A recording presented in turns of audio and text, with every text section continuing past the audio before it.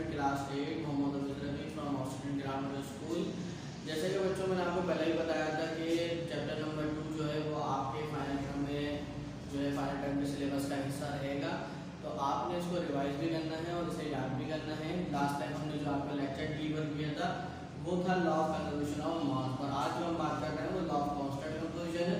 Constant composition से मुराद क्या है कि कॉन्स्टेंट कंपोजिशन से मुराद यहाँ पर इस तरह से ली जाती है कि अगर आप दो हिस्सा हाइड्रोजन और एक हिस्सा ऑक्सीजन इस्तेमाल करें तो आपके पास जो बनने वाला प्रोडक्ट होगा, वो वाटर होगा मतलब H2O होगा।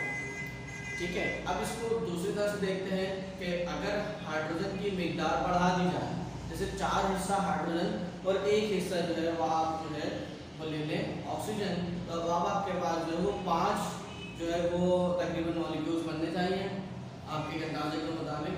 लेकिन ऐसा नहीं है। होगा क्या कि वो जो दो हिस्सा हाइड्रोजन है, वो रिएक्शन करेगा ऑक्सीजन के साथ और एच टू बना लेगा। लेकिन बाकी का जो दो हिस्सा हाइड्रोजन रहेगा, वो अनरिएक्टेड रहेगा। इसी को हम लॉ ऑफ़ कॉन्स्टेंट कंपोजिशन कहते हैं।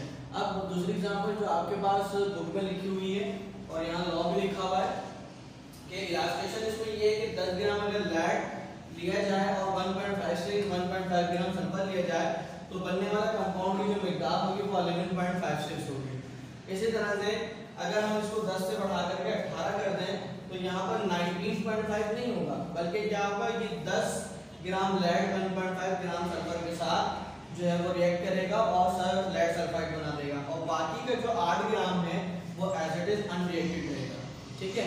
अच्छा इसके साथ एक बात और है, वो ये कि आपके पास जो डायरी है, वो ये है कि आपने ये लॉ जो है वो याद करना है इसकी एग्ज़ाम्पल और इसकी इलास्ट्रेशन के साथ। ठीक है? यही आपके पास क्या है, इसकी डायरी है। ठीक है थैंक यू अल्लाह हाफिज़।